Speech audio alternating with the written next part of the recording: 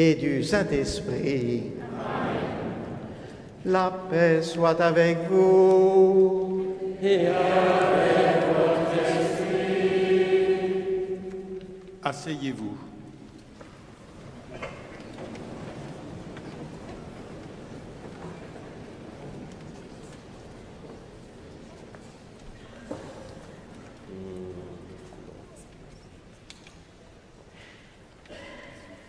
Peuple de Dieu, qui chante avec tant d'intensité,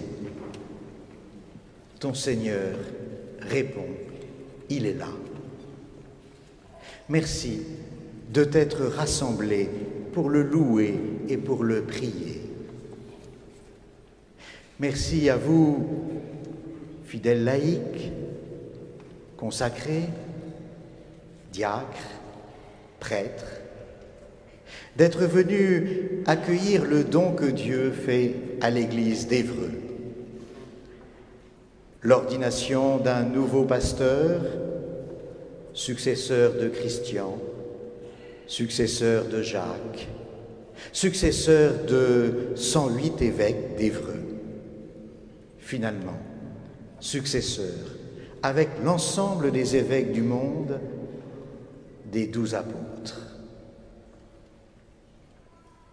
Olivier, sois le bienvenu dans cette terre normande, heuroise. Votre présence, Monsieur le Préfet, Madame la Sénatrice, Monsieur le Président du département, Monsieur le maire d'Évreux, les autres élus des collectivités territoriales nous touchent. Et vous aussi, autorités militaires, judiciaires, diplomatiques et religieuses. Je pense en particulier à messieurs les imams. Votre présence signifie notre relation mutuelle, un peu mystérieuse, peut-être comme l'est la relation de l'âme, de l'esprit et du corps. Je ne dis pas où les uns se situent, mais que serions-nous les uns sans les autres. Bienvenue, chère famille d'Olivier. Merci de l'accompagner. Vous connaissez mieux que nous la matière première de notre ordination. Continuez de l'entourer de votre affection qui fait tant de bien.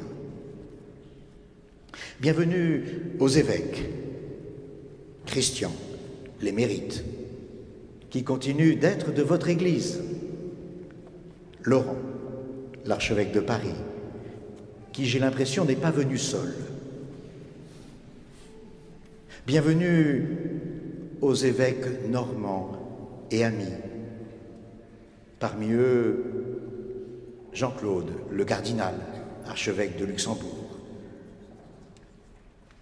Nous avons ce matin dans le cœur, nous autres et beaucoup d'entre vous, une attention particulière pour l'évêque de Saint-Dié, Didier Berthet, décédé hier. Je salue aussi mon Seigneur le Nonce, qui est dans un moyen de communication, de transport retardé. Nous sommes charitables, nous ne disons pas de quoi il s'agit. Je le remercie d'arriver dès que possible, au nom du Saint-Père, de prendre part à cette célébration avant celle de l'ordination d'Étienne Veteux ce soir à Reims. Bienvenue à nos frères et sœurs des églises orthodoxes et protestantes et à leurs prêtres et pasteurs. Votre participation à la prière marque notre désir d'unité. Bienvenue à chacun, à chacune d'entre vous, à l'intérieur, à l'extérieur, unis par la radio ou un écran, quel que soit le moment où vous en êtes sur votre chemin de vie et de foi. Dans toute célébration catholique, tous ont leur place, comme à toute sa place la vie de ce monde, avec ses joies et ses espoirs, ses angoisses et ses tristesses.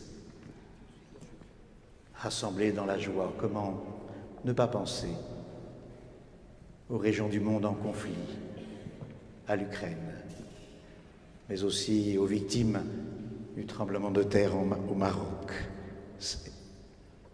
Tout a une place dans la grande espérance que nous offre notre Dieu et dont la célébration, la communion que nous voulons vivre est un beau signe. Merci à tous d'être là.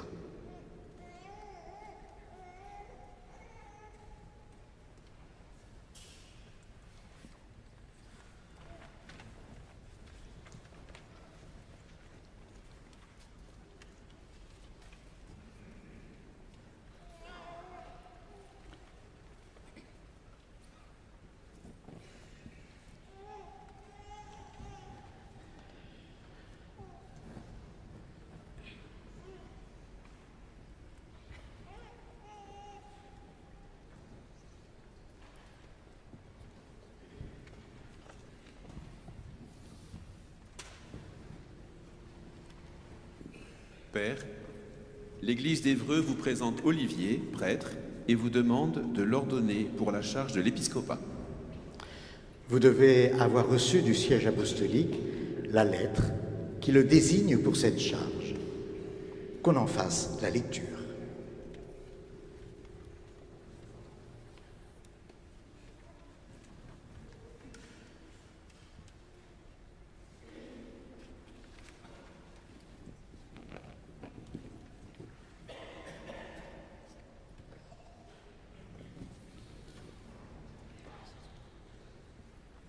François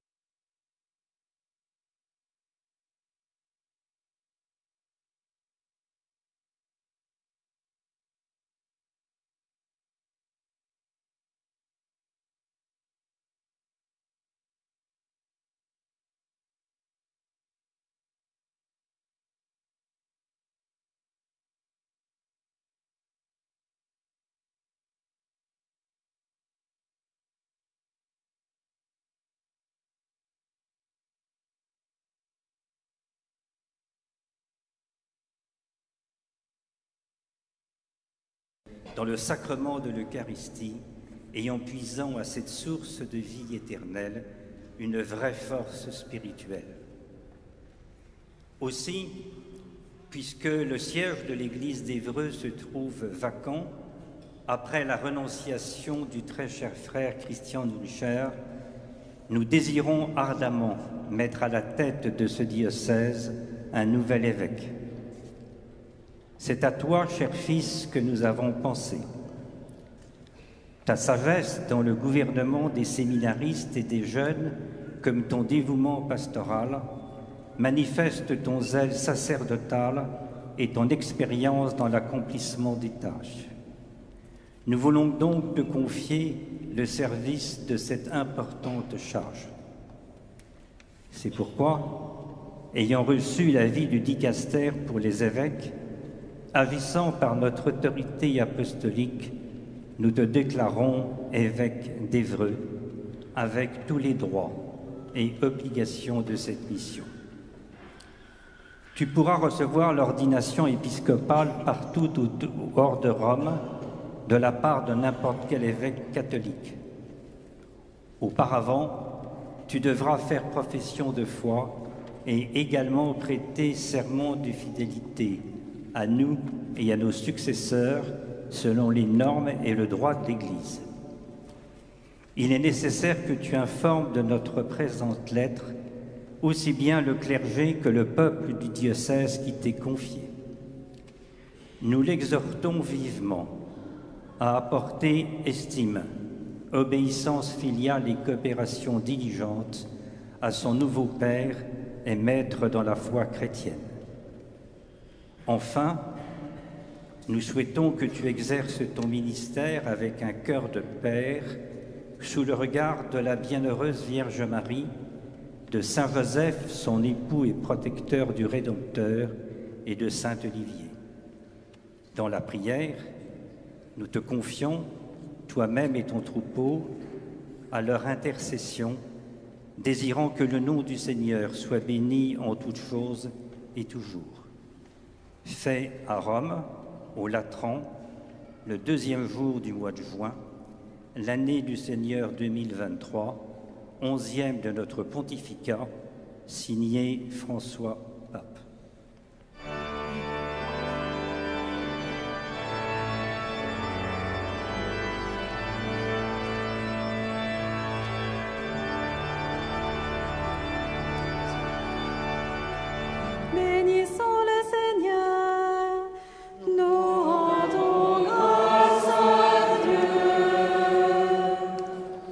Nous allons maintenant entendre en la personne de Nathalie 19 les attentes de notre diocèse.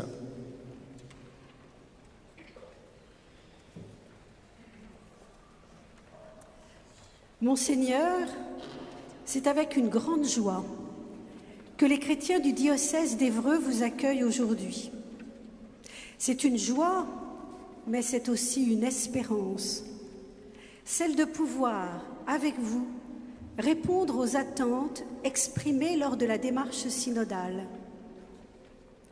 Majoritairement, les contributions déplorent l'absence des jeunes et une Église vieillissante. Pourtant, les aînés souhaitent partager leurs rêves et leurs expériences avec les jeunes générations. Mais comment les toucher? Mieux les accueillir lors des demandes de sacrement, leur donner plus de place dans les instances de réflexion et d'organisation. Parce qu'elle est la condition d'une véritable co-responsabilité, il y a une prise de conscience de l'importance d'une formation pour tous les membres engagés dans un service d'Église. Il s'agit de former les prêtres et les laïcs à un mode de gouvernance synodale pour permettre une meilleure co-responsabilité au sein des équipes d'animation pastorale, de former les responsables des services et mouvements qui œuvrent à la vie missionnaire des communautés paroissiales et du diocèse, de former les personnes qui demandent des sacrements, dont les attentes sont souvent en décalage avec la proposition de l'Évangile. Par ces formations, les personnes transformées seront plus à l'aise pour dialoguer en adoptant un langage nouveau, plus simple, plus évangélique, afin de tenir compte de ceux que l'on rencontre, que l'on écoute. Beaucoup se sont exprimés sur la liturgie, dont ils retiennent le caractère central, mais les sensibilités sont diverses et parfois divergentes. Comment les réconcilier? Reconnaissant la place essentielle de la parole de Dieu, nombre de lieux, paroisses, mouvements ou autres proposent des groupes de partage de la parole. Liée à l'avenir de l'Église, la question des ministères est souvent évoquée, beaucoup souhaitant l'émergence de nouveaux ministères. Enfin, aller vers les périphéries est un souci partagé par beaucoup de diocésains, mais qui pose la question comment s'y prendre? Monseigneur, un nouveau chemin s'ouvre pour vous aujourd'hui dans l'heure, mais nous allons, vous et nous, marcher ensemble pendant quelques années. Votre sac à dos est déjà bien rempli. Permettez-nous de l'alléger avec notre confiance, notre espérance et notre disponibilité.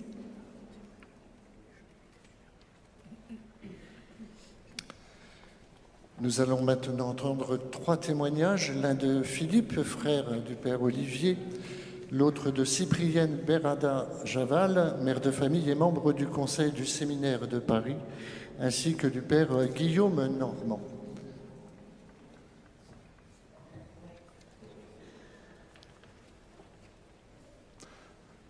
Mon cher Olivier, quatrième d'une famille de cinq garçons, tu as grandi dans l'éducation catholique de nos parents qui, à travers la vie paroissiale à Saint-Ferdinand des Ternes, nous ont montré sans jamais nous l'imposer la force de la foi et la grandeur de l'engagement, à tel point que notre appartement était parfois surnommé l'annexe de Saint-Fer.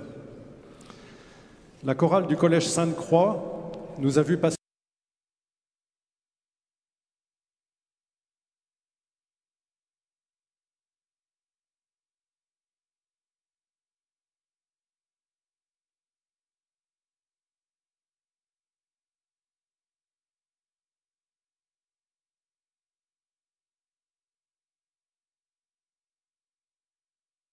de la marine à Toulon, tu nous as surpris en nous annonçant le jour de Noël 1984, devant la crèche familiale, que tu allais entrer au séminaire, nous montrant religieusement ton cadeau, un bréviaire. Tu gardes un bon souvenir de ces années, en particulier des trois passées à Rome. Elles t'ont donné, entre autres, le goût de l'italien que tu aimes tant pratiquer. Olivier, moins ingénieur et bricoleur que ses frères, tu as toujours mis tes grandes qualités humaines au service des plus petits. Accompagnement des jeunes, visiteur d'enfants malades, chef des enfants de cœur, aumônier scout, formateur au séminaire de Paris, puis recteur de ce même séminaire, tout ceci a tissé le fil rouge de ton sacerdoce. Plein de simplicité et de bonté, un peu à l'image de papa, tu leur as montré la voie vers le Christ et vers le ciel. Papa, justement, nous a quittés il y a 18 ans. Il aurait été fier de toi et aujourd'hui, certainement, il prie pour toi et t'accompagne de son regard bienveillant. Chère maman, ta présence dans cette grande et belle cathédrale est importante pour nous. Il y a peu, je t'annonçais la préparation de ce petit mot et tu me répondais Oui, c'est important d'avoir un prêtre dans la famille il faut le dire. Pas trop long, mais il faut le dire. Alors Olivier, merci. Merci pour ton écoute positive, tes conseils, ton amitié de frère et de cousin rassembleur. Merci. Prends bien soin de toutes les personnes qui te sont confiées, et en particulier des prêtres du diocèse. Nous prions pour toi et te confions à la prière de tes fidèles.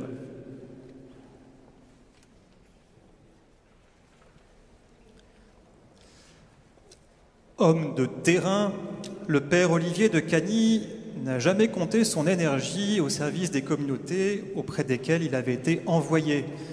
D'abord comme vicaire à la paroisse Saint-Denis du Saint-Sacrement, puis comme chapelain à Notre-Dame du Saint-Sacrement, où il s'est beaucoup investi auprès du pôle jeune Cortambert, ainsi que dans les aumôneries du collège et lycée La Tour et du collège et lycée Gerson. Il a également accompagné le scoutisme école de vie où l'on apprend que le fort protège le faible. Pendant dix ans, il a été curé de la paroisse Saint-Louis-en-Lille. L'humilité et la gentillesse du pasteur ont marqué l'esprit de cette communauté. Et jour après jour, il s'est montré attentif à chacun, à l'écoute lors des prises de décision.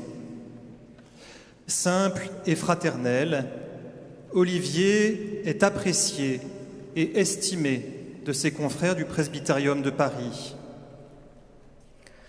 Homme de prière, il est attentif à la parole de Dieu, la recevant pour lui-même afin d'en être le serviteur et de l'annoncer. En témoigne d'ailleurs le verset des Actes des Apôtres dont il a tiré sa devise en aucun cas, je n'accorde du prix à ma vie, pourvu que j'achève ma course et le ministère que j'ai reçu du Seigneur Jésus, rendre témoignage à l'évangile de la grâce de Dieu. Olivier est particulièrement attentif à la place donnée à cette parole dans la prière liturgique du peuple de Dieu. La parole est proclamée pour qu'elle s'enracine et fructifie dans les cœurs. Et c'est une ligne qui traverse tout le ministère d'Olivier. au service des vocations, adjoint et responsable de maisons de formation, puis enfin recteur du séminaire de Paris, ce sont près de 30 années qui, d'une manière ou d'une autre, ont été consacrées à l'accompagnement des séminaristes. Beaucoup, dont je fais partie, lui sont reconnaissants de sa présence à leur côté pour les aider à reconnaître l'appel du Seigneur et y répondre généreusement dans la liberté. Olivier, un prénom de baptême tout à fait adéquat pour celui qui sait accompagner la croissance de ce que Dieu sème dans les cœurs, ici, aujourd'hui et demain, dans l'Église d'Évreux.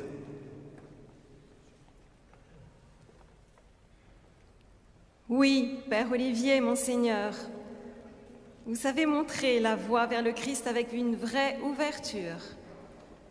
Récemment, comme recteur, dans les choix faits pour le séminaire, en particulier sur la communication, et dans l'attention que vous montrez à la liberté de chacun, dans le temps que vous passez, quel que soit votre emploi du temps avec les plus pauvres, dans le respect des différences. Fidèle à votre sacerdoce, vous vous remettez régulièrement en question, signe parmi d'autres de votre modestie. Vous donnez l'exemple d'un prêtre qui vit pleinement la consécration de son baptême dans la prière, l'obéissance à l'Église et la charité. Vous avez prié et encore prié quand l'Église de France et de Paris était ballottée, restant ferme et serein face à l'épreuve. Quel bel exemple pour les futurs prêtres. Nous aimons votre humanité et votre simplicité. Vous savez l'importance de se retrouver autour d'un bon repas. Vous faites volontiers les courses, la cuisine, vous savez dresser une belle table pour vos invités. Sans doute l'influence de votre goût pour la liturgie. Vous donnez le temps à la convivialité, vous aimez partager. Vous ne prenez pas de décision avant de consulter, de questionner, de prendre du temps. Vous acceptez la contradiction. Euh, il le faut quand on se fait bousculer continuellement par les jeunes séminaristes. Vous savez que vous ne savez pas tout et donc vous acceptez de vous faire entourer et conseiller, y compris par des femmes. Vous savez vraiment écouter, quelle que soit la fonction ou le titre de votre interlocuteur. Ce souci de faire mieux, de faire bien, a toujours habité, caractérisé votre vie de prêtre. Il y a trois ans, vous m'avez fait appeler par l'archevêque de Paris comme laïque et mère de famille pour devenir membre du conseil du séminaire. Aux deux femmes qui en font partie, vous avez su, avec la délicatesse et l'attention qui vous caractérisent, nous donner pleinement un rôle dans l'Église. Sabine, qui est consacrée, et moi, simple baptisée, qui faisons partie du conseil du séminaire, nous y sommes écoutés, nous avons un droit de vote, comme femmes et comme représentantes du peuple de Dieu. Alors oui, en vous voyant, en vous suivant, en travaillant avec vous, je peux témoigner que l'Église évolue, discrètement mais concrètement.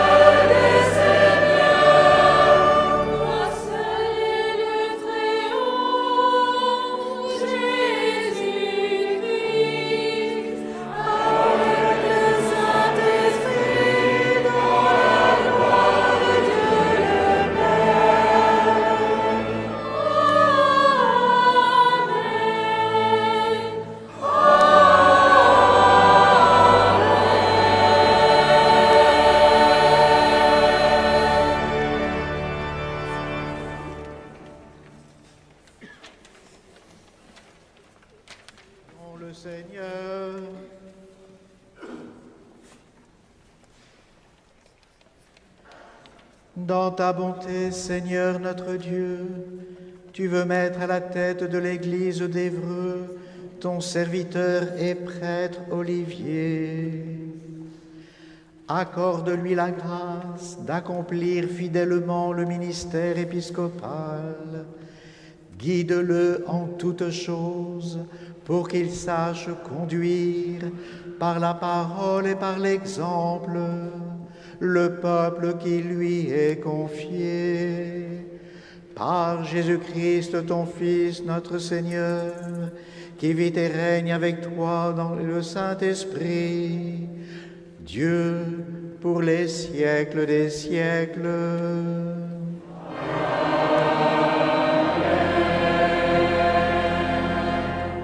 Nous pouvons nous asseoir.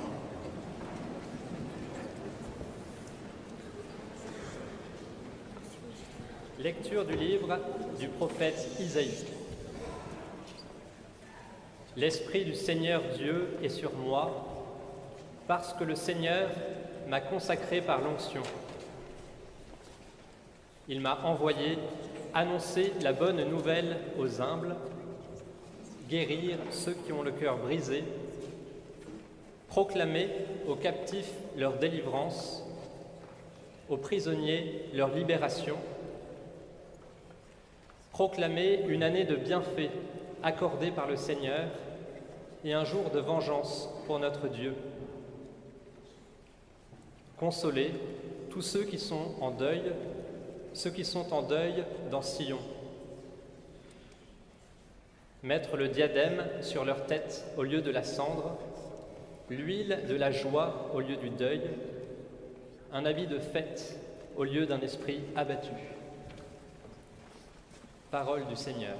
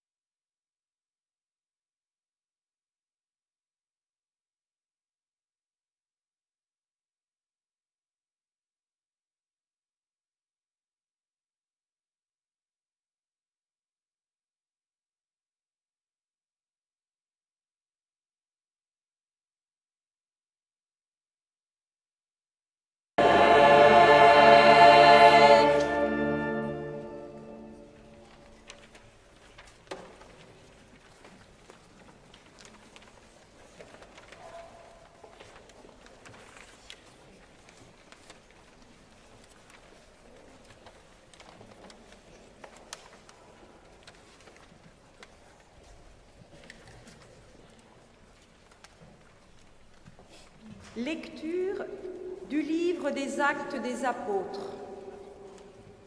En ces jours-là, depuis Milée, Paul envoya un message à Éphèse pour convoquer les anciens de cette Église. Quand ils furent arrivés auprès de lui, il leur adressa la parole. Voici que je suis contraint par l'Esprit de me rendre à Jérusalem sans savoir ce qui va m'arriver là-bas. Je serai seulement que l'Esprit Saint témoigne de ville en ville que les chaînes et les épreuves m'attendent. Mais en aucun cas je n'accorde du prix à ma vie, pourvu que j'achève ma course et le ministère que j'ai reçu du Seigneur Jésus. Rendre témoignage à l'évangile de la grâce de Dieu. Veillez sur vous-même et sur tout le troupeau dont l'Esprit Saint vous a établi responsable pour être des pasteurs de l'Église de Dieu qu'il s'est acquise par son propre sang. Moi, je sais qu'après mon départ, des loups redoutables s'introduiront chez vous et n'épargneront pas le troupeau. Même du milieu de vous surgiront des hommes qui tiendront des discours pervers pour entraîner les disciples à leur suite. Soyez donc vigilants. Et souvenez-vous que durant trois ans, nuit et jour, je n'ai cessé dans les larmes de reprendre chacun d'entre vous. Et maintenant, je vous confie à Dieu et à la parole de sa grâce, lui qui a le pouvoir de construire l'édifice et de donner à chacun l'héritage en compagnie de tous ceux qui ont été sanctifiés. Quand Paul eut ainsi parlé, il s'agenouilla et pria avec tous. Parole du Seigneur.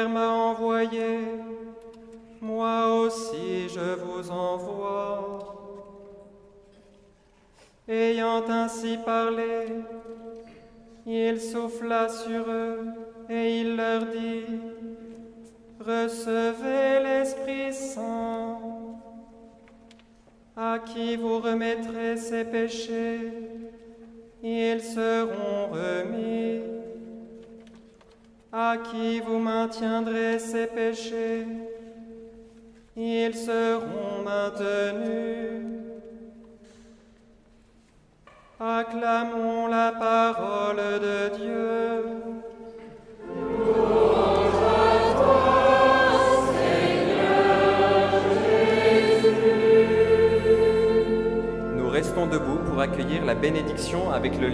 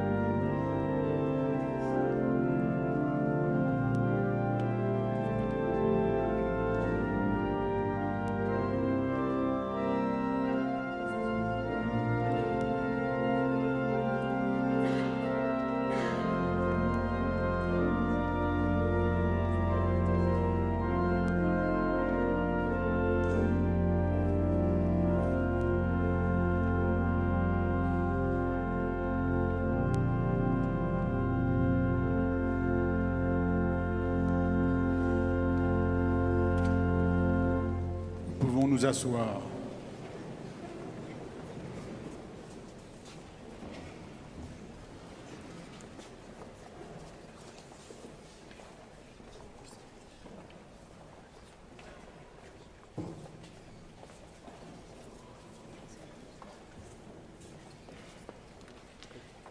La paix soit avec vous.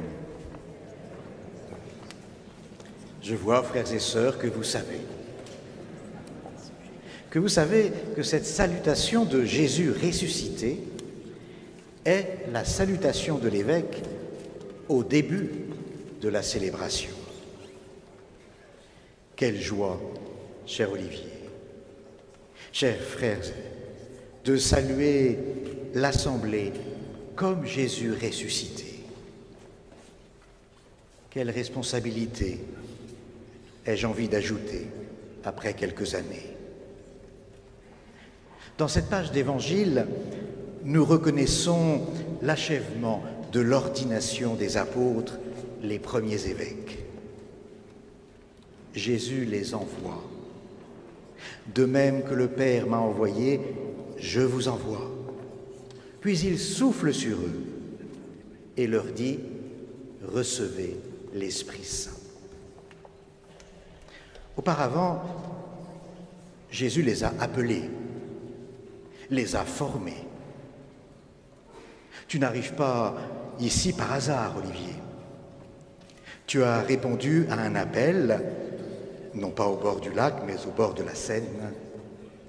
Peut-être devrais-je dire au bord du Tibre, car c'est bien l'appel de l'évêque de Rome que t'a transmis le nonce apostolique que je salue. Mais cet appel est aussi l'appel d'une Église qui attend son pasteur. Au début de cette célébration, c'est son vicaire général qui t'a présenté à moi. C'est le peuple de Dieu qui s'est exprimé pour te dire ses attentes. Je suis frappé par la forte conscience des communautés qu'elles ne peuvent être catholiques sans un évêque. Elles l'expriment, c'est mon expérience, mais je crois aussi celle de mes frères, par de multiples attentions dont nous faisons l'objet, par exemple, lors des visites pastorales. Quelle joie, des joies souvent simples, mais qui expriment une foi profonde. Olivier, ton oui vient à la suite des oui déjà prononcés. Ils t'ont conduit à être prêtre de Paris, non pas comme une qualité hors sol, mais concrètement, comme un pasteur, aumônier de jeunes, curé, formateur, supérieur de séminaire. Et je suis sûr que ces oui s'enracinent encore plus loin.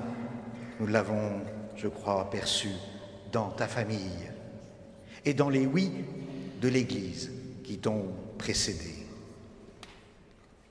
Ton oui aujourd'hui à Évreux n'est pas hors sol, tu le sais bien. Olivier, tu feras vivre ce oui. Tu n'as pas fini de dire oui, en fait, d'obéir à la volonté de Dieu. Saint Jean-Paul II situait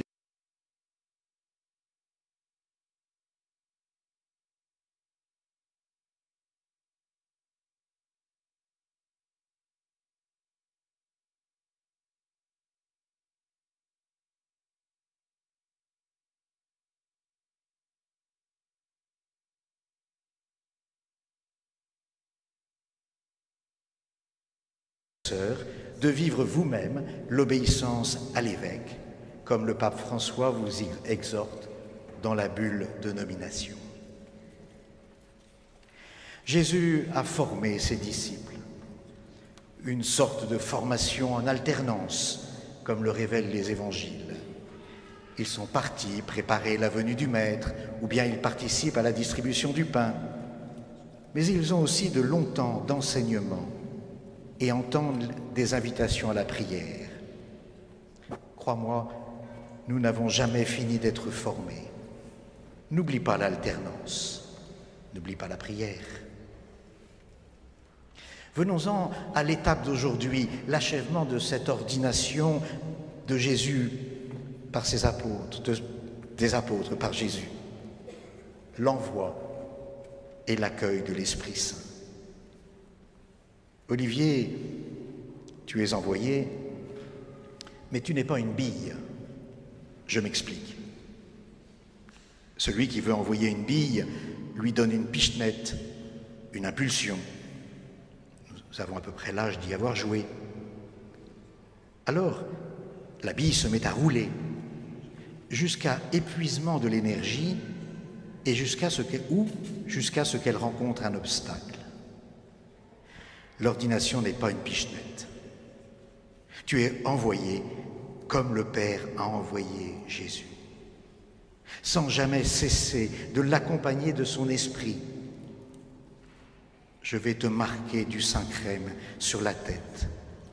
Il te pénétrera comme il pénètre le baptisé et le confirmé. L'Esprit Saint t'accompagnera tout au long de ton ministère Parfois, il surgira discrètement au fond de toi dans un temps de silence. Mais parfois, il surgira aussi de tes rencontres et du peuple de Dieu. Continue d'écouter et d'invoquer l'Esprit Saint sans craindre l'épuisement ou les obstacles. D'ailleurs, l'Esprit Saint est un spécialiste des obstacles. À qui vous remettrez ses péchés, ils seront remis. À qui vous maintiendrez ses péchés, ils seront maintenus, ajoute Jésus comme première consigne. Autrement dit, il t'engage à la miséricorde et à la vérité du combat contre le mal, celui déjà mené et gagné par Jésus. Dans l'envoi de Jésus ressuscité, cette consigne est la seule. Il n'y a pas de plan pastoral très défini. Je le comprends ainsi.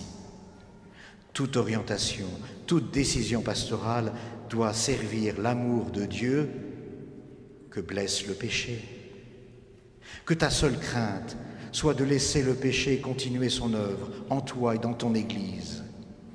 Toute orientation, toute décision pastorale doit être participation au mystère pascal de Jésus où l'amour de Dieu Père est vainqueur. Alors nous entendons, la paix soit avec vous. Non pas comme une petite salutation, mais comme la victoire, la victoire de l'amour. Cette salutation est belle et elle est partagée.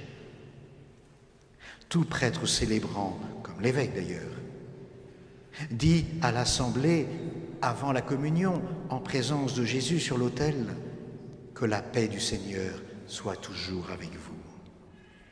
Tu peux compter sur les prêtres pour partager avec joie ta mission de pasteur. Puis les fidèles sont invités à se donner la paix par un diacre, expression du désir de communion dans la paix.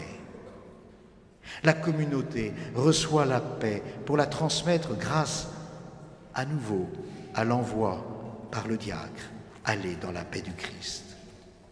Toute l'Église devient alors missionnée et donc missionnaire.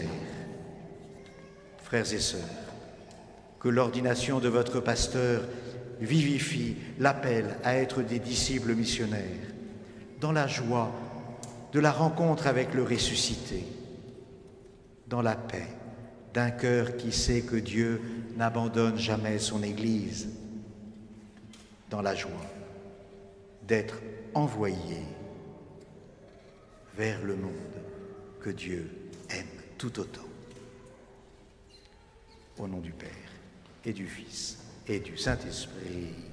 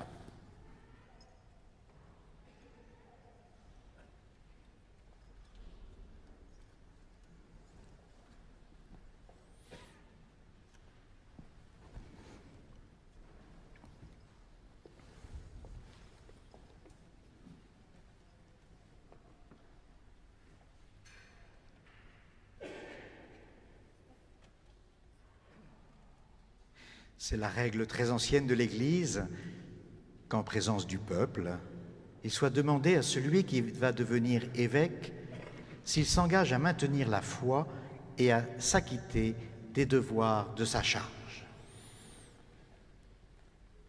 Frères bien-aimés, acceptez-vous la charge que nous ont confiée les apôtres et que nous allons vous transmettre par l'imposition des mains Oui, j'accepte cette charge au service du peuple de Dieu et je m'engage à la remplir jusqu'à ma mort avec l'aide de l'Esprit Saint.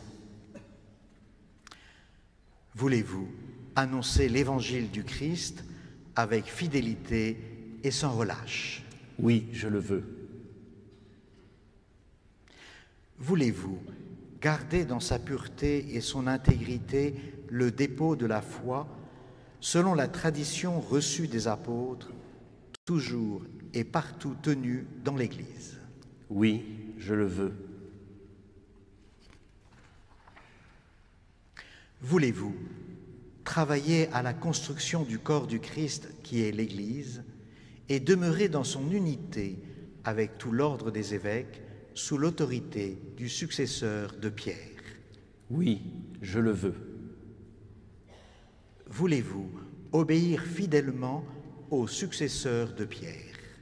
Oui, je le veux.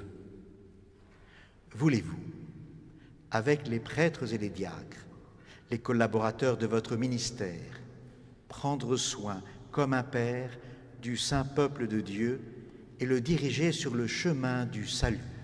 Oui, je le veux. Voulez-vous, d'un cœur plein de bonté et de miséricorde, accueillir au nom du Seigneur les pauvres, les étrangers et tous ceux qui sont dans le besoin Oui, je le veux. Voulez-vous, comme un bon pasteur, partir à la recherche des brebis qui s'égarent pour les rassembler dans le bercail du Seigneur? Oui, je le veux.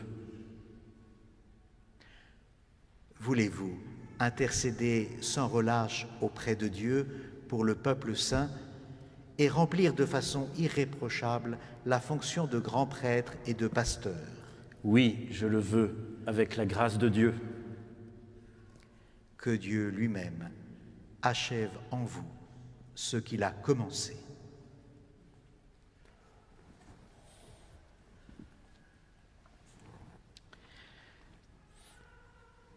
Pour Olivier qui a été choisi, prions avec tous les saints du ciel, le Seigneur notre Dieu, dans sa bonté et pour le bien de son Église, qui lui donne l'abondance de sa grâce.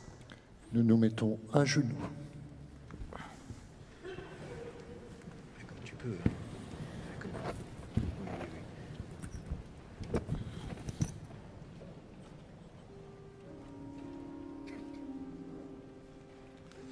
Seigneur, prends pitié.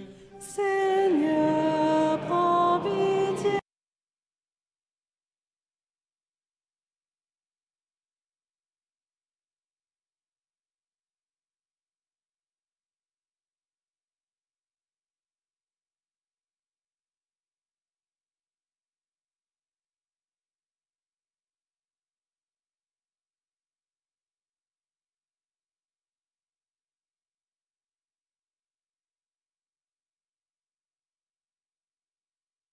Des Vierges, Saint Michel, Gabriel et Raphaël, Saints anges et archanges, Assemblée sainte des esprits bienheureux, Abraham, Élie, Saint Jean-Baptiste et Saint Joseph,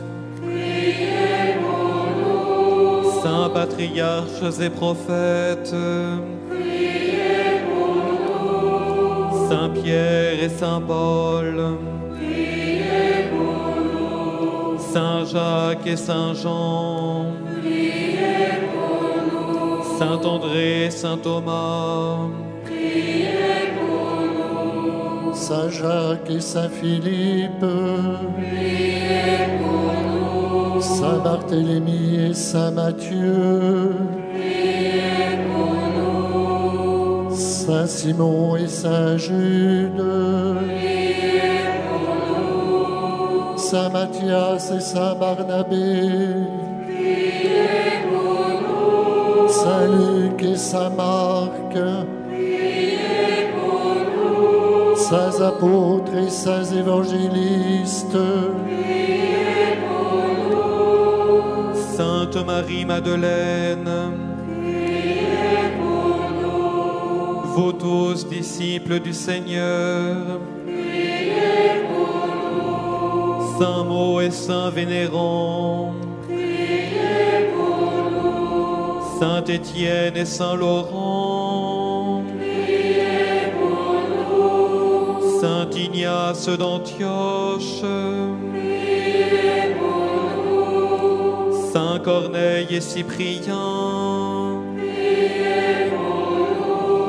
Sainte Perpétue et Félicité. Sainte Agnès et Sainte Cécile. Vous tous, Saint Martyr. Basile et Saint Athanase. Saint Ambroise et Saint Augustin. Saint Grégoire et Saint Jérôme. Saint François Xavier. Sainte Catherine de Sienne. Docteur et Confesseur, Saint Clément et Saint Martin, Saint Denis et Saint Germain, Saint Orin et Saint Aquilin, Saint Jean-Marie Vianney et Saint François de Laval. Saint Paul VI et Saint Jean-Paul II. Saint Bruno et Saint Bernard. Saint Antoine et Saint Benoît. Sainte Thérèse d'Avila. Saint fondateur et évangélisateur. Saint François et Saint Dominique, Saint moine et réformateur, Saint Thomas d'Aquin, Saint Louis et Sainte Clotilde, Saint Charles de Foucault et bienheureux Jacques Désiré Laval. Saint Marcel et Sainte Geneviève. Tous les saints de notre Église. Sainte Jeanne d'Arc et Sainte Claire. Sainte Thérèse de l'Enfant Jésus. Vous toutes vierges saintes. Femme veuve, et vous tous, saints et saintes de Dieu, montre-toi favorable.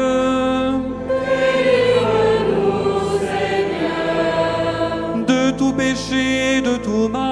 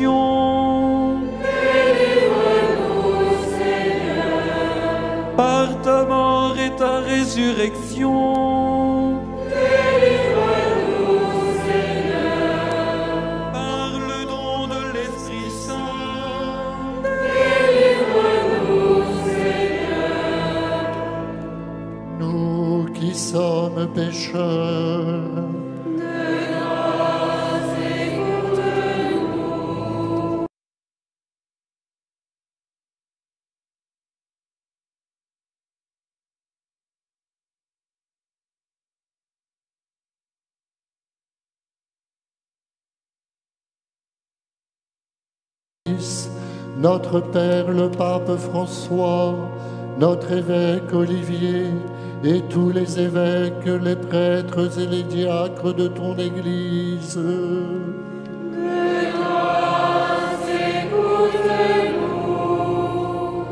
Pour qu'il te plaise de mettre entre les peuples une entente et une paix sincère.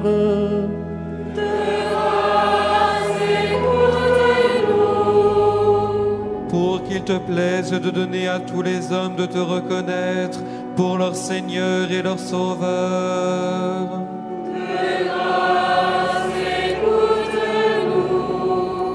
Pour qu'il te plaise de nous affermir et nous garder fidèles à te servir.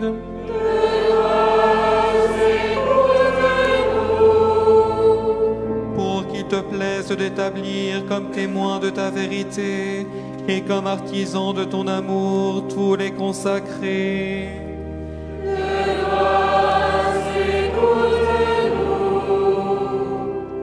Pour qu'il te plaise de bénir celui que tu as appelé.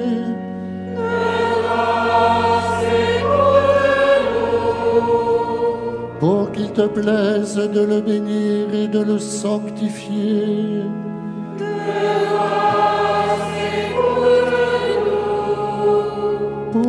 Te plaise de le bénir, de le sanctifier et de le consacrer.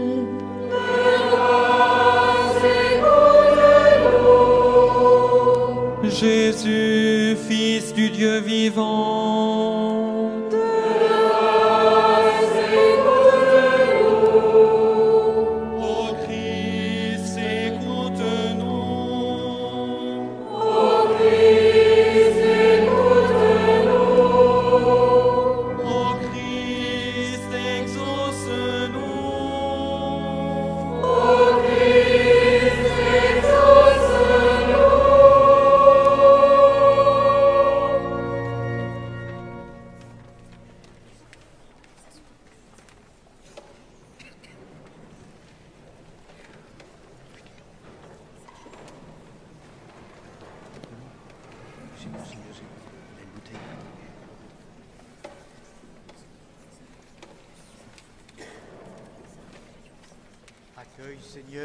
Accueille, Seigneur, les supplications de ton Église pour celui à qui nous allons imposer les mains. Répands sur lui ta bénédiction toute puissante, par Jésus, le Christ, notre Seigneur.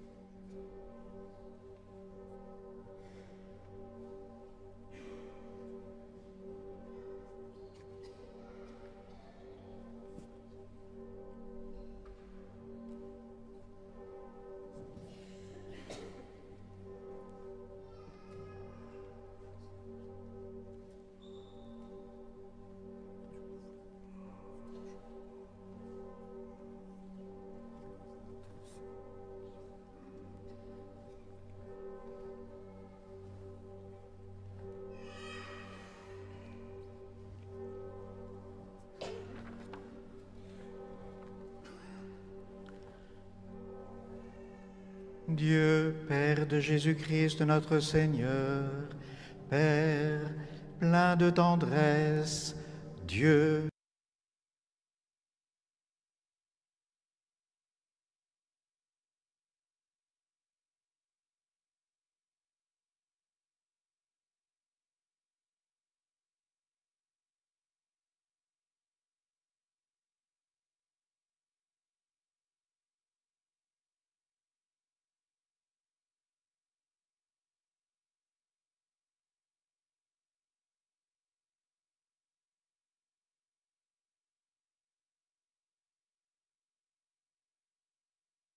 devenir un peuple saint.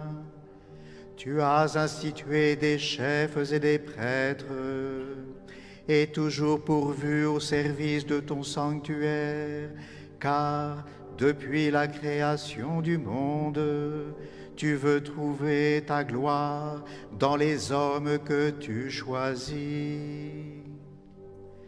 Et maintenant, Seigneur, Répands sur celui que tu as choisi la force qui vient de toi, l'Esprit souverain que tu as donné à ton Fils bien-aimé Jésus-Christ, l'Esprit qu'il a lui-même communiqué aux saints apôtres, qui établirent l'Église en chaque lieu comme ton sanctuaire à la louange incessante et à la gloire de ton nom. Père, toi qui connais le cœur de chacun, donne à celui que tu as choisi pour l'épiscopat de remplir sans défaillance la fonction de grand prêtre et de pasteur de ton peuple saint, en te servant jour et nuit qu'il s'emploie sans relâche à intercéder auprès de toi et à te présenter l'offrande de ton Église. Accorde-lui, par la force de l'Esprit qui donne le sacerdoce, le pouvoir de remettre les péchés, ainsi que tu l'as commandé qu'il répartisse les ministères comme tu l'as disposé toi-même, et qu'il délie de tout lien avec l'autorité que tu as confiée aux apôtres. Que sa bonté et la pureté de son cœur fassent de sa vie un sacrifice qui te plaise par ton Fils Jésus-Christ par qui te sont rendus à toi, notre Père, la gloire, l'honneur et la puissance, avec l'Esprit Saint, dans la Sainte Église, maintenant et pour les siècles des siècles. Amen. Amen.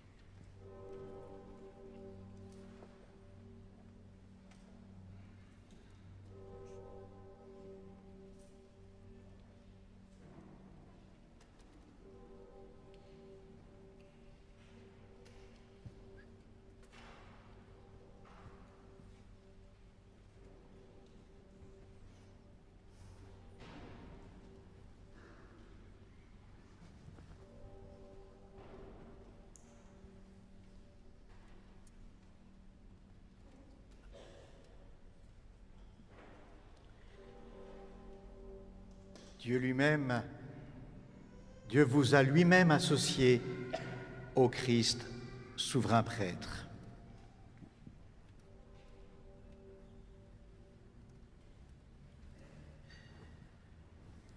qu'il vous pénètre de sa grâce comme une onction spirituelle et rende fécond votre ministère par la bénédiction de l'Esprit Saint.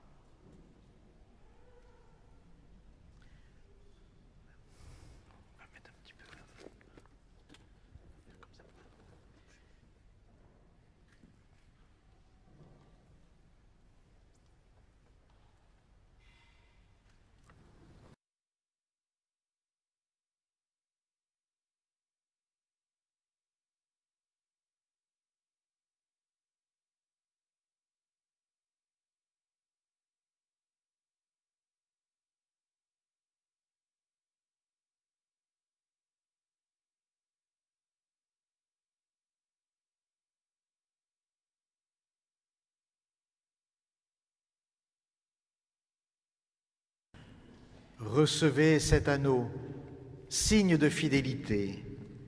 Gardez dans la pureté de la foi l'épouse de Dieu, la Sainte Église.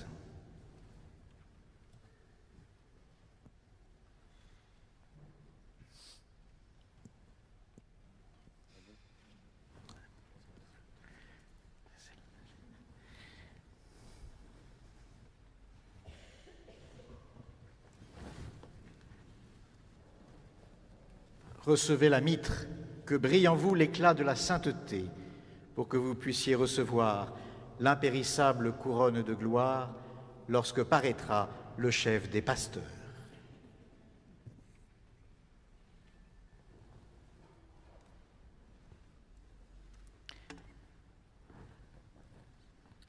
Recevez le bâton de pasteur, signe de votre charge. Prenez soin de tout le troupeau du Seigneur dans lequel l'Esprit Saint vous a établi comme évêque pour gouverner l'Église de Dieu.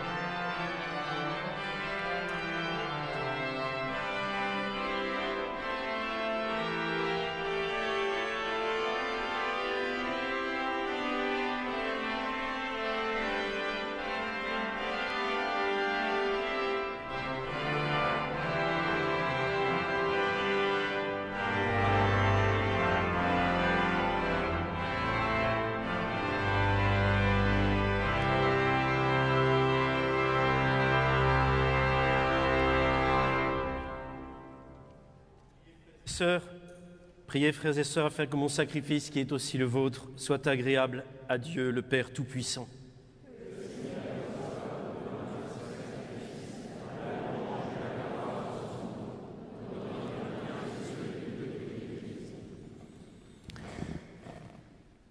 À l'occasion de cette ordination épiscopale, nous t'offrons, Seigneur, le sacrifice de louange. Donne efficacité par ta grâce à l'action que tu nous donnes d'accomplir sans que nous l'ayons mérité, par Jésus le Christ, notre Seigneur. Amen.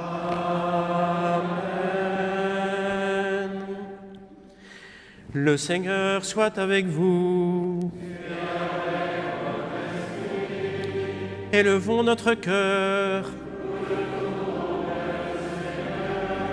Rendons grâce au Seigneur notre Dieu.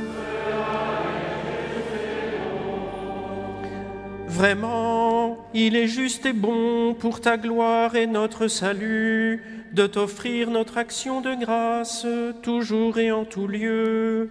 Seigneur, Père très saint, Dieu éternel et tout-puissant, par l'onction de l'Esprit Saint, tu as établi ton Fils unique, grand prêtre de l'alliance nouvelle et éternelle, et dans ton admirable providence, tu as voulu que son unique sacerdoce demeure à jamais dans l'Église.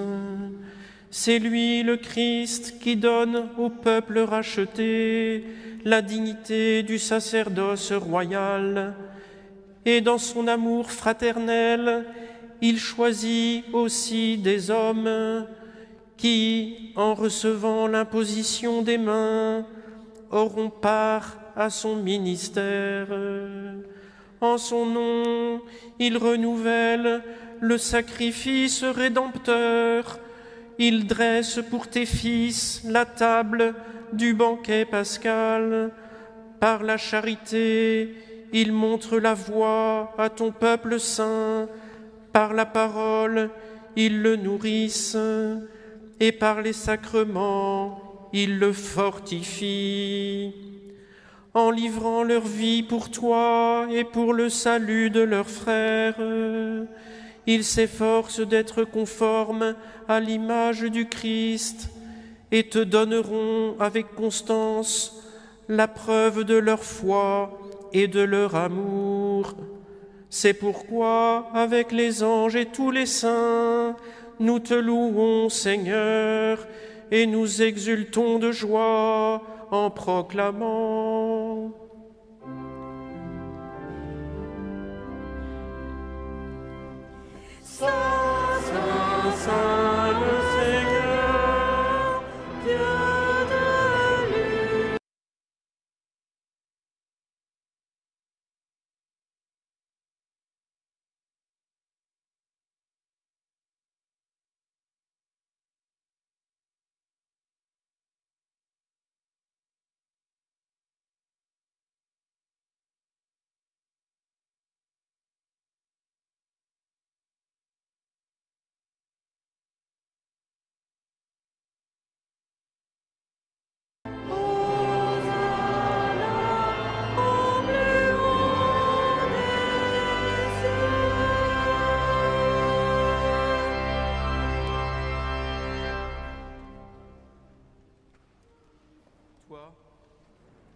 Toi, Père très aimant, nous te prions et te supplions, par Jésus-Christ, ton Fils, notre Seigneur, d'accepter et de bénir ces dons, ces offrandes, sacrifices purs et saints, que nous te présentons avant tout pour ta Sainte Église catholique.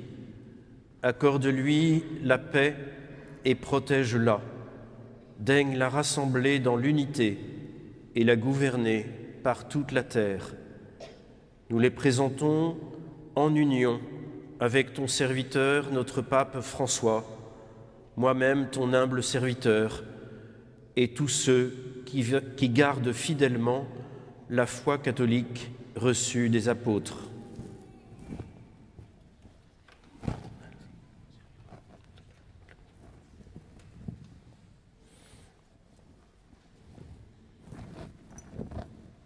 Souviens-toi, Seigneur, de tes serviteurs et de tes servantes, et de tous ceux qui sont ici réunis, dont tu connais la foi et l'attachement. Nous t'offrons pour eux, et ils t'offrent pour eux-mêmes et tous les leurs ce sacrifice de louange, pour leur propre rédemption, pour la paix et le salut qu'ils espèrent, ils te rendent cet hommage. À toi, Dieu éternel, vivant et vrai.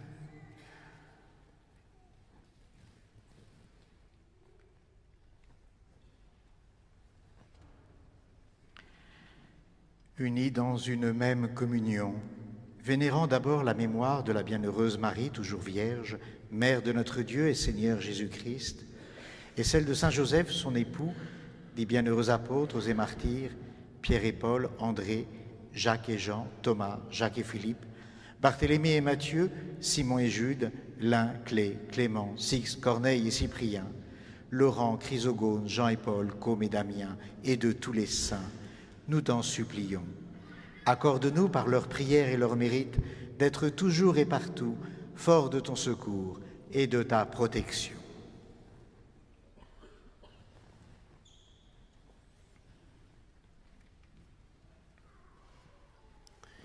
Voici donc l'offrande que nous présentons devant toi, nous, tes serviteurs, et ta famille entière. En particulier pour moi, ton humble serviteur, que tu as appelé à l'ordre des évêques. Nous t'en prions, Seigneur, accepte cette offrande. Protège en moi tes propres dons pour que je fasse fructifier par ta puissance ce que j'ai reçu de ta grâce. Par le Christ notre Seigneur. Amen. Seigneur Dieu, nous t'en prions, daigne bénir et accueillir cette offrande, accepte-la pleinement, rends-la parfaite et digne de toi, qu'elle devienne pour nous le corps et le sang de ton Fils bien-aimé, Jésus le Christ, notre Seigneur.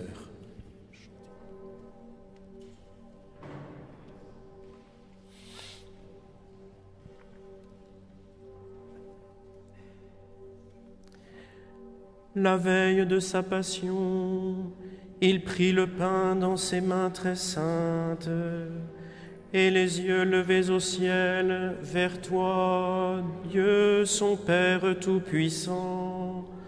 En te rendant grâce, il dit la bénédiction, il rompit le pain et le donna à ses disciples en disant, Prenez et mangez-en tous, ceci est mon corps livré pour vous.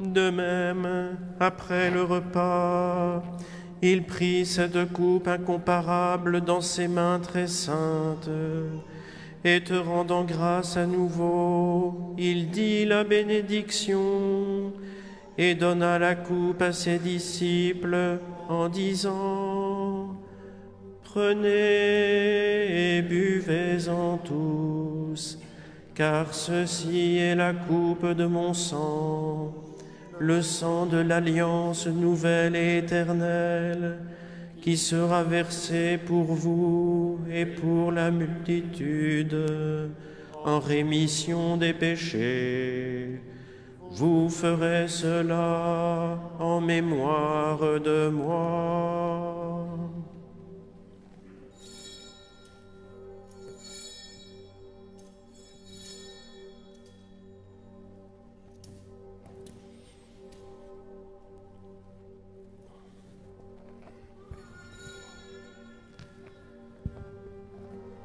Il est grand le mystère de la foi.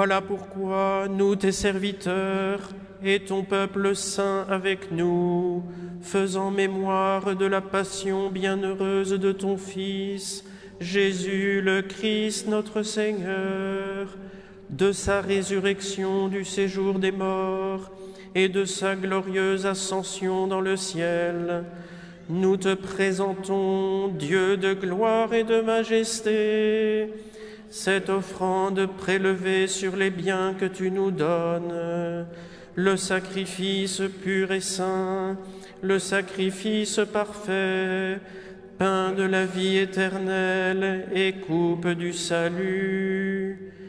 Et comme il t'a plu d'accueillir les présents de ton serviteur Abel le juste, le sacrifice d'Abraham, notre Père dans la foi, et celui que t'offrit Melchisédek, ton grand prêtre, oblation sainte et immaculée, regarde ces offrandes avec amour, et dans ta bienveillance accepte-les.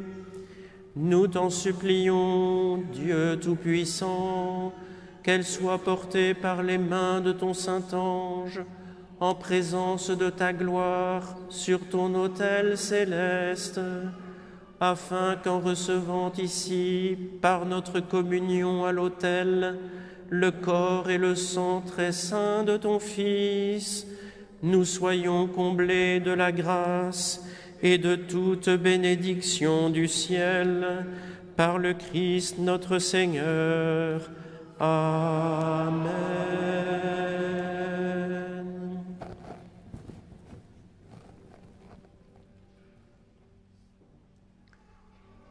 Souviens-toi aussi, Seigneur, de tes serviteurs et de tes servantes qui nous ont précédés, marqués du signe de la foi et qui dorment dans la paix.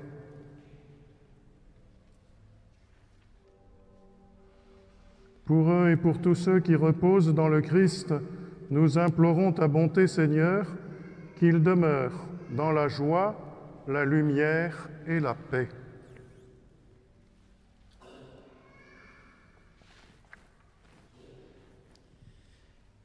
Et nous, pécheurs, tes serviteurs, qui mettons notre espérance en ta miséricorde inépuisable, admets-nous dans la communauté des saints apôtres et martyrs, avec Jean-Baptiste, Étienne, Matthias et Barnabé, Ignace, Alexandre, Marcelin et Pierre, Félicité et Perpétue, Agathe, Lucie, Agnès, Cécile, Anastasie et tous les saints.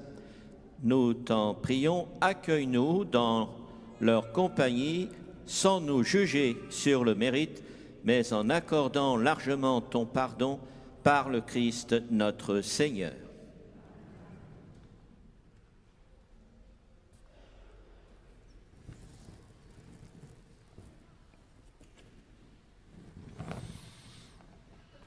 Par lui, tu ne cesses de créer tous ces biens. Tu les sanctifies, leur donnes la vie, les bénis et nous en fais le don. Par lui, avec lui et en lui, à toi, Dieu le Père Tout-Puissant, dans l'unité du Saint-Esprit, tout honneur et toute gloire pour les siècles des siècles.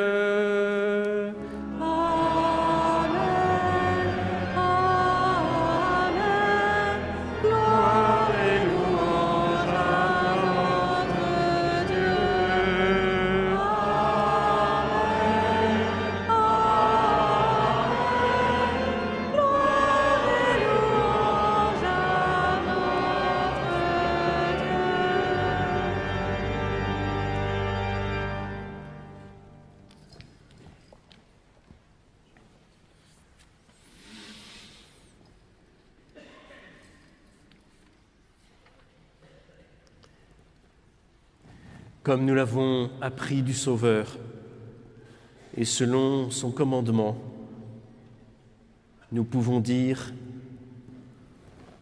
Notre Père qui es aux cieux, que ton nom soit sanctifié, que ton règne vienne, que ta volonté soit faite sur la terre comme au ciel. Donne-nous aujourd'hui notre pain de ce jour. Pardonne-nous nos offenses, comme nous pardonnons aussi à ceux qui nous ont offensés. Et ne nous laisse pas entrer en tentation, mais délivre-nous du mal. Délivre-nous de tout mal, Seigneur, et donne la paix à notre temps.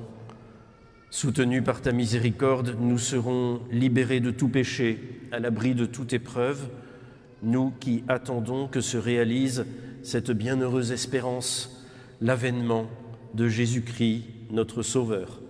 Car c'est à toi qu'appartiennent le règne, la puissance et la gloire pour les siècles des siècles. Seigneur Jésus-Christ, tu as dit à tes apôtres, je vous laisse la paix, je vous donne ma paix. Ne regarde pas nos péchés, mais la foi de ton Église.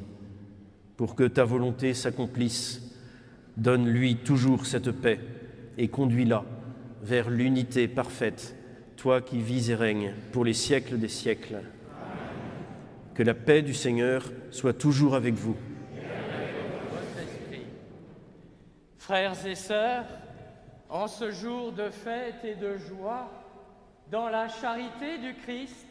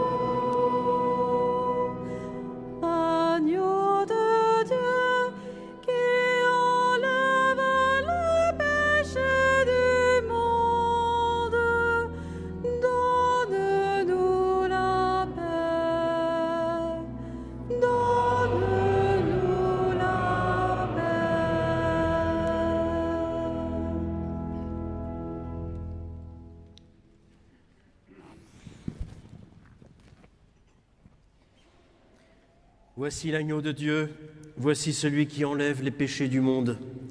Heureux les invités au repas des noces de l'agneau. Seigneur, je ne suis pas digne de te recevoir, mais dis seulement une parole et je serai.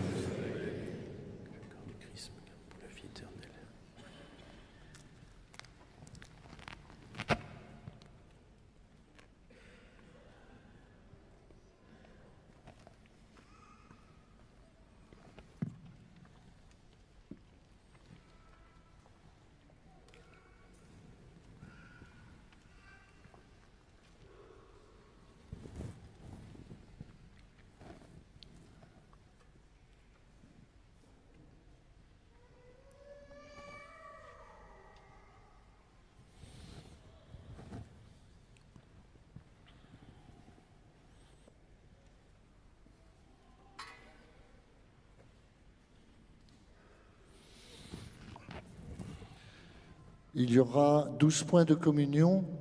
Les distributeurs, pour l'instant, vous ne bougez pas le temps qu'on mette en place tout le système. Donc il y aura deux, deux personnes qui donneront la communion dans la cour du musée, deux sur le parvis, euh, deux dans le chœur, aux grilles du chœur et en milieu de nef. Merci d'attendre que tout le monde soit en place.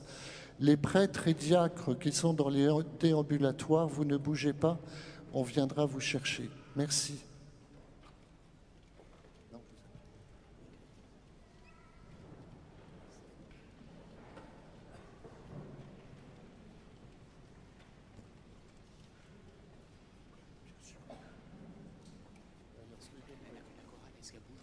Non, non, non, qu'est-ce qu'ils font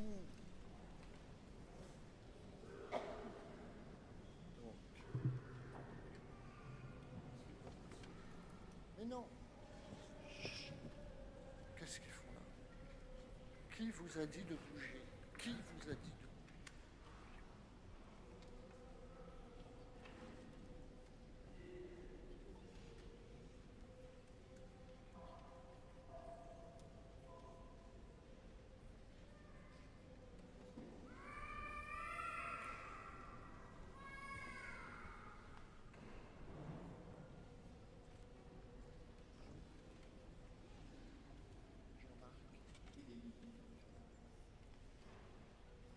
Jean-Marc et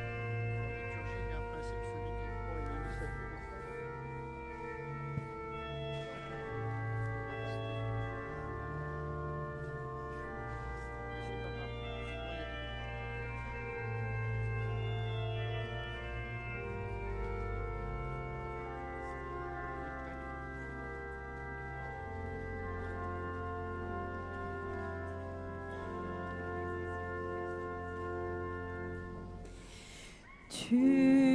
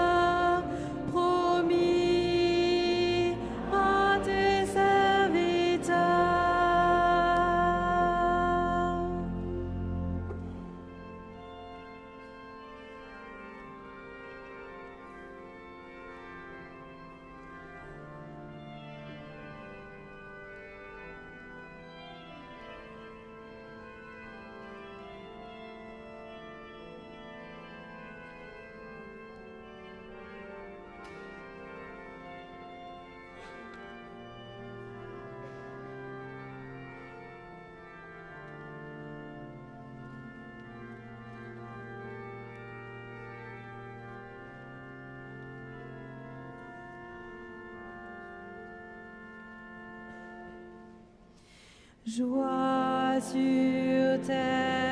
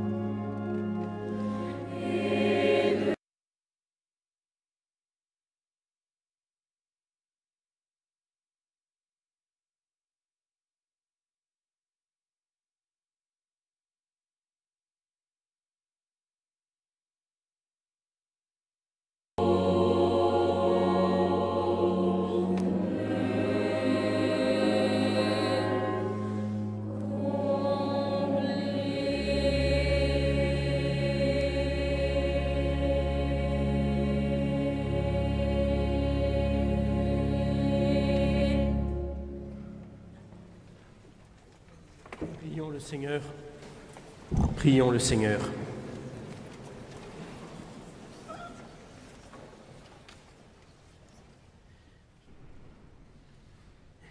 Que ta miséricorde agisse en nous, Seigneur, nous t'en prions, et qu'elle nous guérisse entièrement. Par ta bonté, transforme-nous et rends-nous si fervents que nous puissions te plaire en toutes choses, par le Christ notre Seigneur.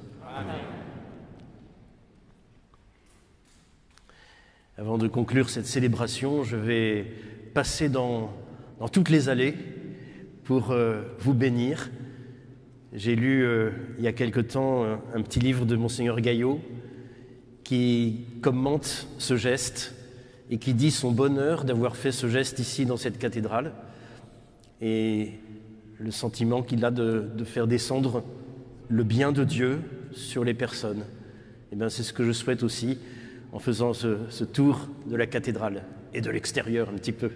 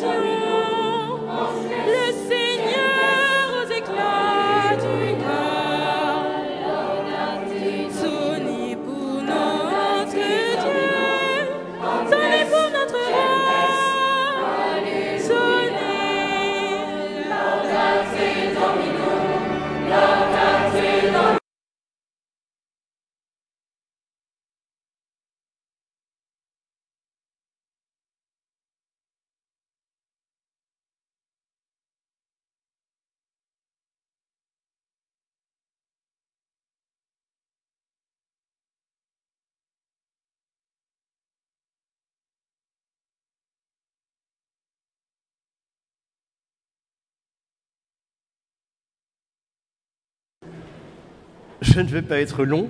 En général, quand on dit ça, ça commence mal.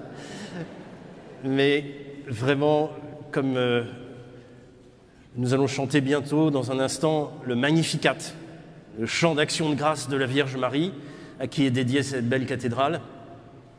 Et je voudrais que dans ce Magnificat que nous allons chanter, il y ait toutes les actions de grâce, tous les remerciements que je porte dans mon cœur et que vous portez aussi, je pense, car cette fête de l'ordination d'un nouvel évêque, ce n'est pas ma fête à moi, c'est la vôtre, c'est la nôtre. Cette fête, c'est tout simplement Dieu qui renouvelle sans cesse son Église. Et le Christ qui l'aime à ce point, ce que signifie notre anneau, le Christ qui aime à ce point son Église qu'il veut sans cesse lui donner les moyens d'avancer.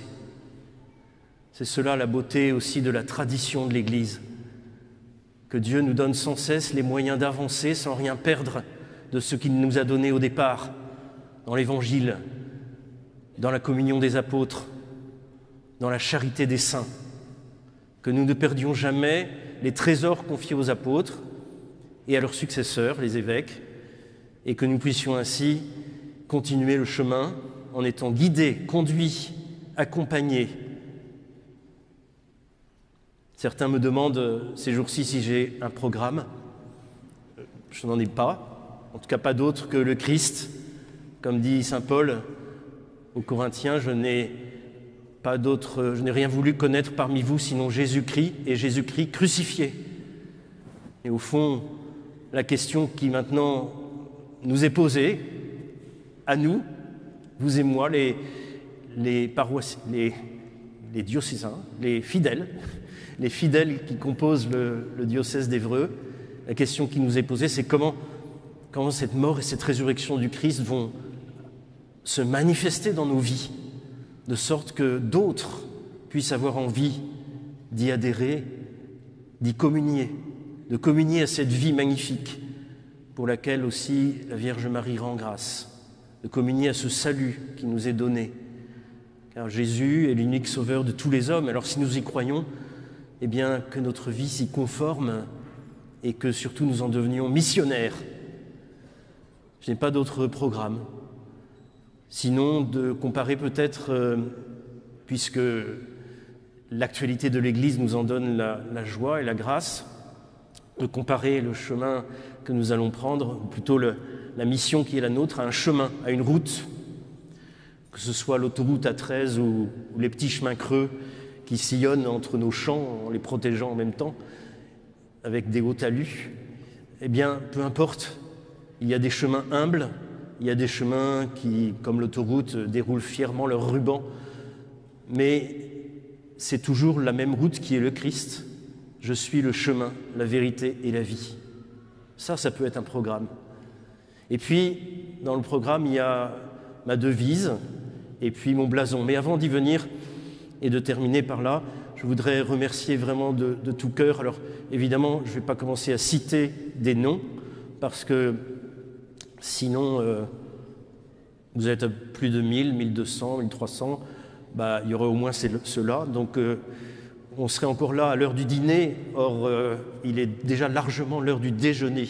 Donc, il, faut, il faut malheureusement faire des remerciements un peu généraux. En tout cas, je vous remercie beaucoup, euh, mesdames et messieurs les, représentants de l'État, des collectivités locales, de la République, les élus de la République, euh, les élus municipaux dans le département, particulièrement à Évreux. Je vous remercie d'être là. C'est pour moi un beau signe du fait que l'Église euh, communie aussi à la tâche des hommes, à la vie des hommes, et que c'est là qu'elle veut offrir son salut et son amour. Monsieur le cardinal, votre présence, euh, bien sûr, nous honore et, nous permet aussi de nous rappeler que ce chemin que nous voulons prendre, c'est évidemment le synode dont vous êtes responsable et la synodalité qui est vraiment cette attention de tous, de tous ceux qui sont sur la route, euh, de donner les moyens, les balises aussi pour que cette route avance bien et puis de permettre que tous ceux qui peuvent marcher et aider les autres à marcher puissent être là, présents au rendez-vous. En vrai, c'est comme ça que je, l'imagine, avec les balises que nous donne euh, la foi de l'Église, l'enseignement de l'Église, avec la carte que nous donne l'Esprit Saint, avec euh, toute la générosité aussi des chrétiens qui sont là pour euh, marcher ensemble. Et c'est vous aussi que je remercie, bien sûr, tous les chrétiens. En particulier, je pense, je pense d'abord aux malades et aux, gens qui sont faibles physiquement, psychiquement, euh, aux gens qui sont limités dans leur corps, dans leur esprit. Je pense à ma chère maman, mais aussi à tous ceux qui, qui, par, euh, euh, qui, sont ici et que j'ai vus pour la plupart à, Lourdes dans le pèlerinage diocésain. J'étais très heureux de, partager ce pèlerinage et je peux vous dire que vous m'aidez, vous, les malades, lorsque vous avez la foi, lorsque vous priez, lorsque vous souriez, lorsque vous laissez conduire, à vrai dire, quand vous laissez conduire vers la grotte, c'est plutôt vous qui nous conduisez d'une certaine manière. Et je voudrais penser spécialement à vous et à tous ceux qui,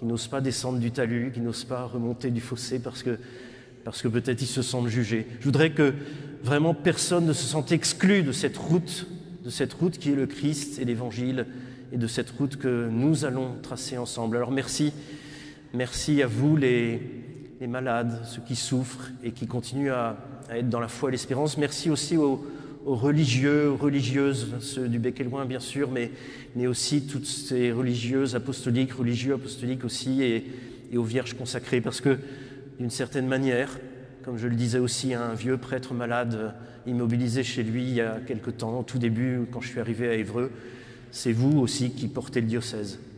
Merci à tous, à tous ceux qui ont qui m'ont entouré, qui m'entourent en ce moment, et qui sont le conseil épiscopal, le, et je vous annonce avec joie que je, nomme de nouveau euh, les pères euh, Jean-Marc Lecam et, et Éric Ladon comme euh, vicaires généraux.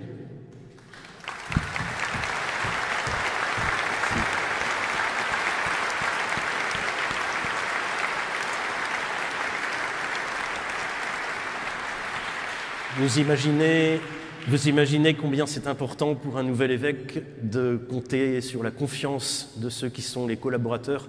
Ben, je, peux, vous dire que la confiance, je la ressens avec tous mes collaborateurs, avec aussi le, chancelier, l'économie diocésain, la communication, tout le conseil épiscopal. Je sens cette confiance à, à 120%. Donc euh, je rends grâce à Dieu aussi pour ça. Et puis je rends grâce à Dieu pour, euh, pour vous tous qui avez aidé à préparer cette célébration notamment à la préfecture, à la mairie, mais aussi euh, tous les techniciens, les chanteurs évidemment, que je remercie beaucoup d'être là et d'avoir fait cette, ce bel effort de joindre des voix de mon diocèse d'origine et de mon diocèse présent, euh, et, et, de ainsi chanter la gloire de Dieu. Merci à tous d'être là, merci à tous les chrétiens, à tous ceux qui euh, m'ont connu depuis longtemps ou qui viennent de me découvrir. Encore une fois, ce n'est pas moi qu'on fête, c'est le Christ. C'est lui qui nous rassemble, c'est lui qui veut être euh, notre guide et qui veut être notre route. Alors je vous invite à, continuer ensemble ce chemin de la foi euh, avec audace, dans la fidélité à l'Évangile, dans la charité. Et puis je termine donc par euh, quelques mots sur mon blason et ma devise. La devise, vous pouvez peut-être la lire sur le, livret, mais témoigner, rendre témoignage à l'évangile, à la bonne nouvelle de la grâce de Dieu, à l'évangile de la grâce de Dieu. Et il suffit de prendre les quatre mots dans l'autre sens. Dieu, c'est vraiment lui qui agit. Il nous donne sa, sa grâce, c'est-à-dire qu'il nous donne son amour gratuitement, sans attendre que nous le méritions. C'est une bonne nouvelle, évangile, et cette bonne nouvelle de l'amour gratuit de Dieu pour chacun de nous, mais nous ne pouvons pas le garder pour nous. L'Église est missionnaire ou elle n'est pas. Et donc à nous d'être ensemble, euh, missionnaires, porteurs de cette bonne nouvelle, tous ensemble. Et puis enfin le, blason, donc vous, pouvez le voir sans doute, euh, la croix, l'olivier et, la pelle. Là, plus loin, pelle. On pourrait faire le jeu de mots, mais euh, la croix lumineuse, parce que c'est le centre de notre foi chrétienne. Euh, le rameau d'olivier, parce que bien sûr c'est mon prénom, mais je voudrais surtout que ce soit le signe euh, non seulement du saint crème que j'ai reçu sur la tête, de cette euh, onction de l'Esprit Saint, mais aussi de tout ce que porte le, témoignage, le symbolisme de l'olivier dans la Bible et, ailleurs d'ailleurs, je crois même dans d'autres traditions religieuses. La paix, la réconciliation, la fidélité, euh, tout cela que, nous pouvons demander à Dieu, bien sûr, euh, lors de mon ministère d'évêque parmi vous. En tout cas, je le demande moi de tout cœur pour vous tous et pour nous tous. Cette paix, cette réconciliation, cette onction de l'Esprit Saint qui agit en nous et qui nous donne de vivre de la foi. Et puis enfin, le-. Alors là, ça m'est venu, euh, non, pas, seulement parce que je passais d'un diocèse assez urbain quand même à un diocèse assez rural, mais surtout parce que j'y ai vu un signe du travail humain, du travail euh, dans lequel la plupart d'entre vous vivent euh, la moitié de leur temps, ou même peut-être plus parfois. Le travail aussi des mères de famille, le travail humble de, de toutes sortes de, personnes qui, qui embellissent la création, qui soignent la création, puis aussi qui font du bien aux autres. Quand on construit, euh, quand on, creuse dans un champ, quand on construit euh, une route ou un bâtiment, euh, on fait du bien au monde, aux autres. Et je voudrais que ce soit vraiment dans, nos cœurs de chrétiens d'intégrer aussi toute cette dimension de la vie. Et puis surtout, et aussi, c'est un signe, cette pelle du travail que nous avons à faire pour collaborer à la grâce de Dieu. La grâce de Dieu, c'est bien, mais si elle tombe sur un terrain sec et non préparé, ça ne marche pas. Dieu nous donne la terre, il nous donne l'eau, il nous donne le soleil, il nous donne la lumière, il nous donne tout ce qu'il faut pour que ça pousse. Mais il y a bien un moment, enfin je crois, hein, vous me l'expliquerez bien ça, mais il y a bien un moment où il faut travailler pour que ça porte plus de fruits. N'est-ce pas? Et donc, l'appel, c'est aussi notre coopération à la grâce de Dieu. Tout simplement.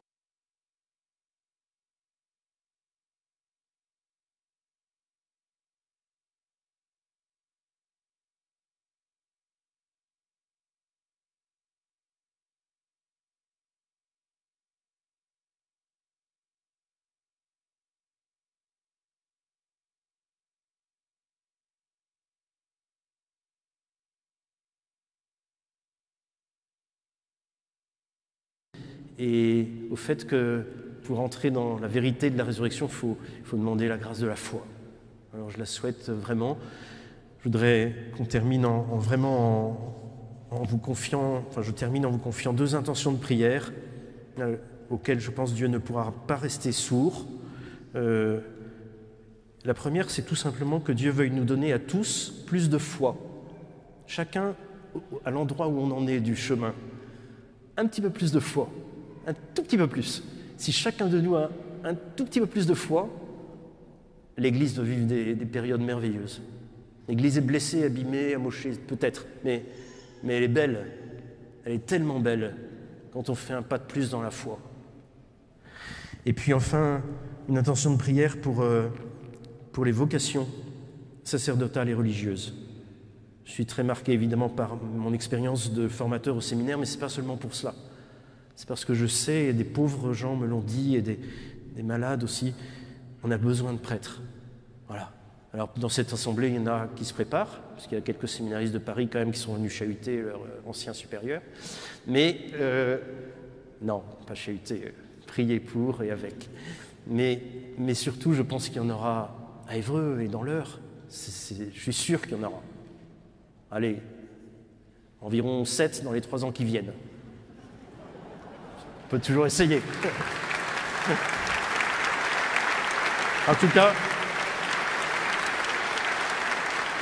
En tout cas, en tout cas, ça, dépend, ça dépend en grande partie, ça dépend en grande partie de notre prière. Ça fait trois fois que je dis que je vais finir. C'est ça, hein, vous êtes en train de vous dire ça. Mais, euh, mais là, ça va être vraiment la fin.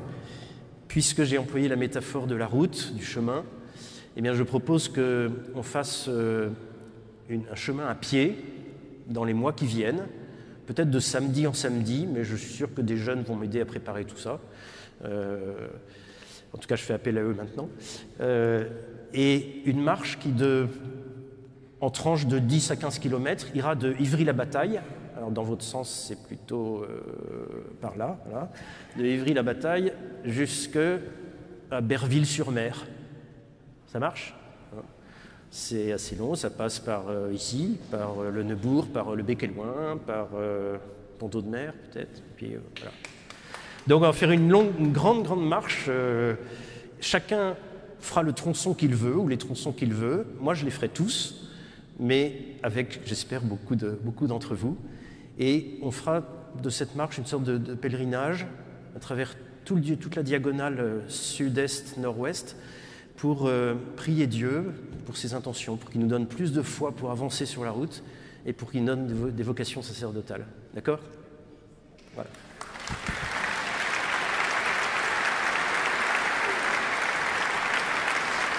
Et maintenant, c'est la bénédiction.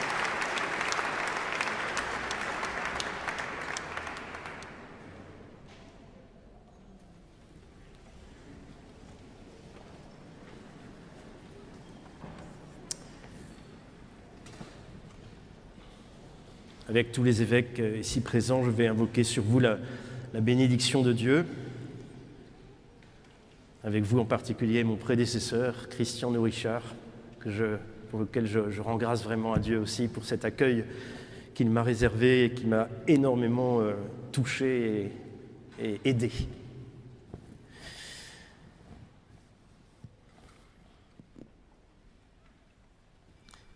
Après la bénédiction et le Magnificat, comme vous avez tous faim et soif, ne vous inquiétez pas, il y a du cidre et du jus de pomme, et puis aussi de la charcuterie et des desserts sur la prairie derrière, derrière la cathédrale à droite.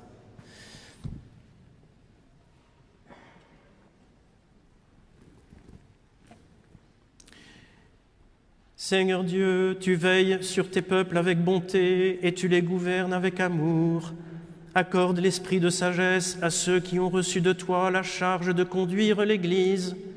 Que les progrès du troupeau fidèle fassent la joie éternelle de ses pasteurs.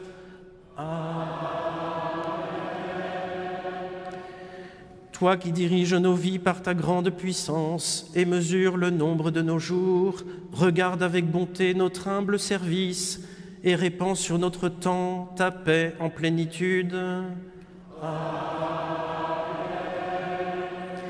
Veille avec bonté sur les biens que tu m'as accordés par ta grâce, toi qui m'as élevé à la charge d'évêque.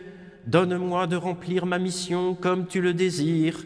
Suscite un même amour au cœur du peuple et de son guide, pour que le troupeau ne manque jamais d'obéir à son pasteur, ni le pasteur de se dévouer à son troupeau.